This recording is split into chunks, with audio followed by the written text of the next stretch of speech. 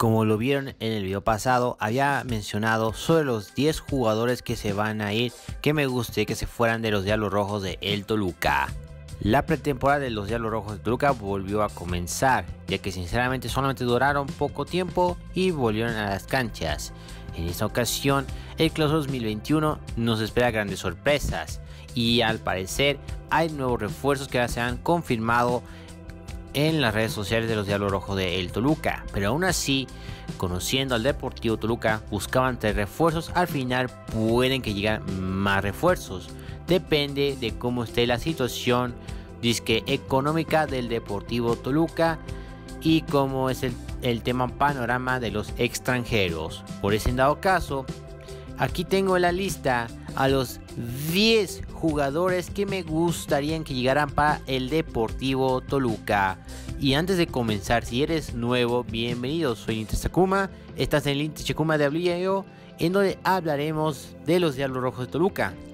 Tales como rumores, fichajes oficiales, los predicciones y análisis de cada partido de los Diablos Rojos de El Toluca. Y si te gustaría formar parte de este contenido, suscríbete y activa la campanilla de notificaciones. ¿Están listos? ¡Juguemos!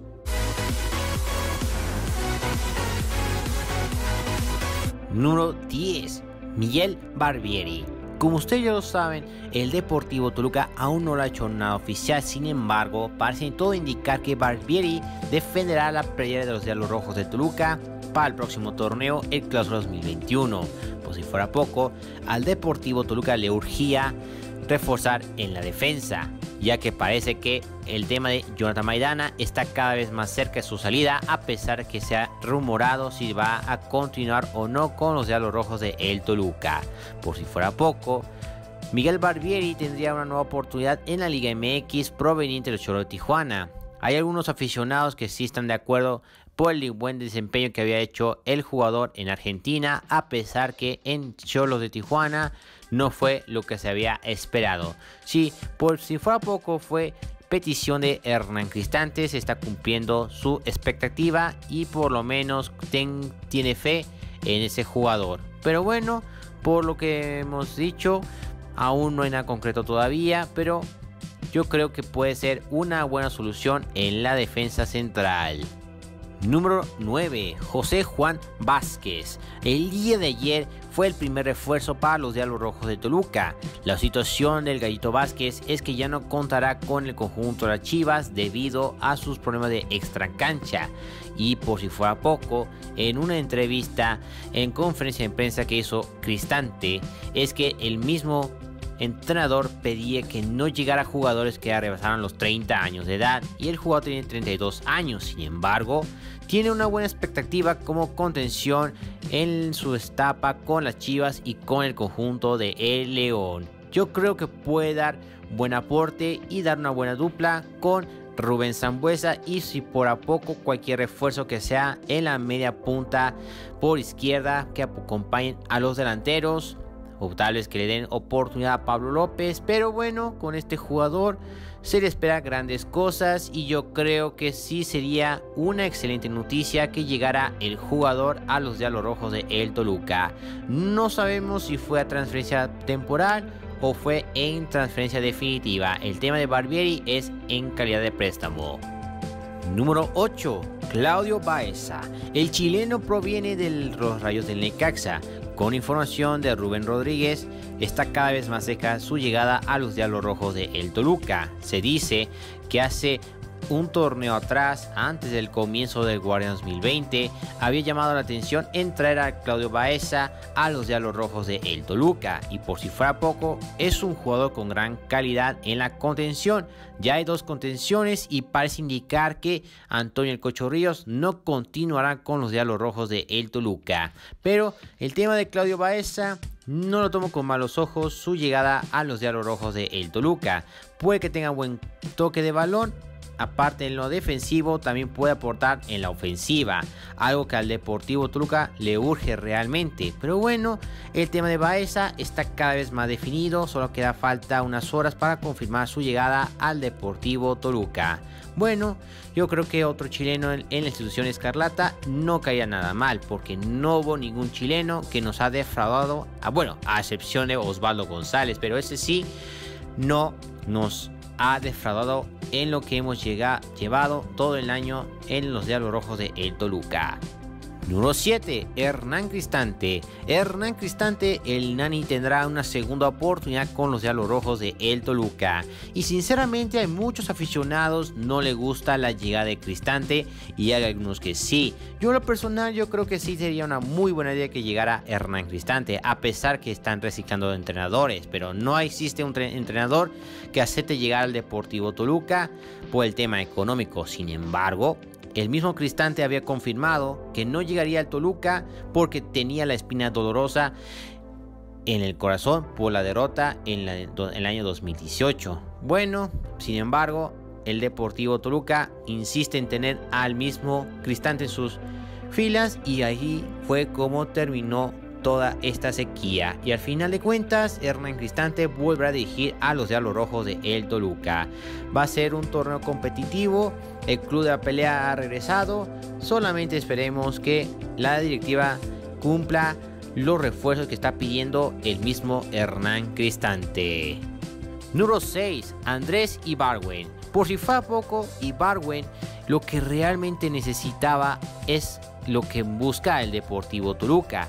Tiene buen toque de balón, es medio creativo que puede funcionar al Deportivo Toluca en la ofensiva, algo que a los Diablos Rojos le urge para que ayude a Rubén Zambuesa. Ya había mencionado el tema de Pablo López, pero bueno, solamente lo de Ibarwen no veo con malos ojos su llegada al Deportivo Toluca. Ya no contará parte de las Águilas del la América y busca un acomodo. Se especulaba que podría llegar al Deportivo Toluca a cambio de Alan Medina, pero aún así no hay nada concreto todavía su llegada al Deportivo Toluca. Veremos si realmente se puede dar, pero insisto, su buen nivel de juego que había mostrado con la América no cae con malos ojos y supongo yo que puede ser la solución en la media ofensiva. Número 5, Cristian Borja. Se están confundiendo, ¿verdad? Si bien esas comillas es que lo que realmente quiero es que llegue un lateral por izquierda que sea como lo era antes Cristian Borja.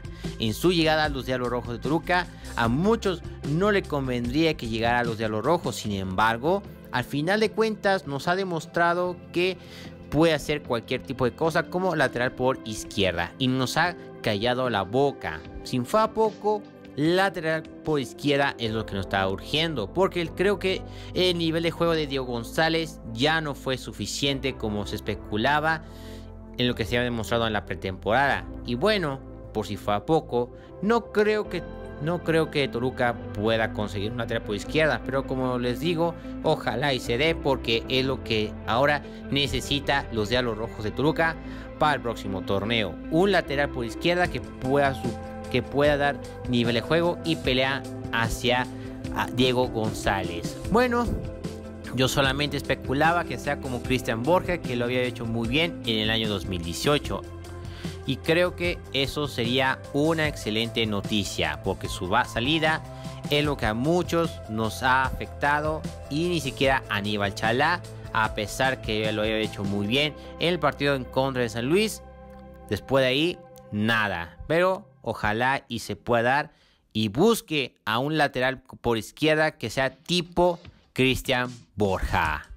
Número 4, Luis Quiñones. Sinceramente, Luis Quiñones nos ha demostrado que como jugador, como volante ofensivo por izquierda, puede hacer grandes cosas, a la vez como centro delantero. Metió goles al Deportivo Toluca y no nos ha desilusionado.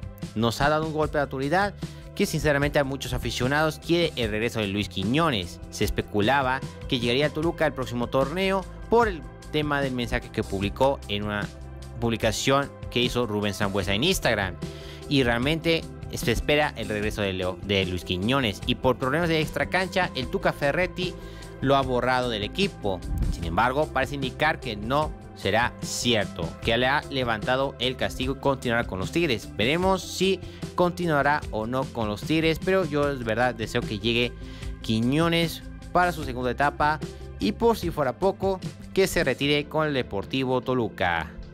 Número 3. Leonardo Fernández. Muchísima gente me va a decir, oye güey, ya deja de hablar de Leo Fernández, no llegará al Deportivo Toluca. Su carta es muy alta y todo eso, bla, bla, bla. De seguramente me van a decir eso. Bueno, Sí, eso sí, es cierto. Pero el tema económico realmente en Toluca no lo tiene, no tiene una crisis realmente. Lo que pasa es que el mismo dueño que es Valentín Díez no planea darle un solo centavo a la directiva de Toluca por el tema de que ha contratado petardos y no jugadores que han aportado a los Diablos Rojos de El Toluca.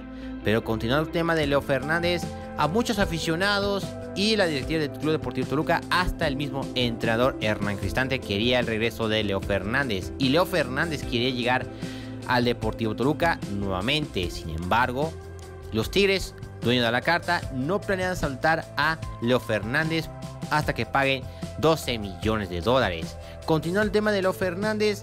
Dejó de ser el jugador que había hecho el Deportivo Toluca el torneo pasado. Pudo haber terminado como líder de goleo con 8 goles, cerca de 10, que fue sin mal no recuerdo, Cabecita Rodríguez. Y si fuera poco, yo en verdad deseo que por lo menos, si no se da este torneo, que sea el siguiente, el retorno de Leonardo Fernández a los Diablos Rojos de El Toluca. Aún lo tengo en mi cabeza, ese deseo que ojalá se cumpla. Número 2. Juan Dineno.